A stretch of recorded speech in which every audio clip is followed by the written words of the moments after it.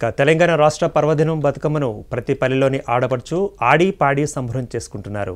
రంగురంగుల పూలను త్రికోణాకారంలో పేర్చి అలంకరించిన బతుకమ్మల చుట్టూ చేరి చప్పట్లు చరుస్తూ వలయాకారంగా తిరుగుతూ పాటలు పాడుతున్నారు. ఇక ఈసారి మనము అద్భుతమైన దృశ్యాన్ని చూడబోతున్నాం. ఈ ఆడపడుచుల చైతన్య స్పృహకు చేతులెత్తి జైభీములు చెబుదాం.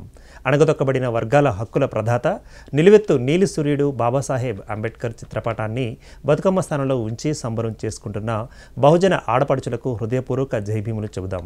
సోషల్ మీడియాలో వైరల్గా మారిన ఈ వీడియోను వేల మంది షేర్ చేస్తున్నారు. వేల మంది వాట్సాప్ స్టేటస్గా ఈ వీడియో హల్చల్ చేస్తోంది.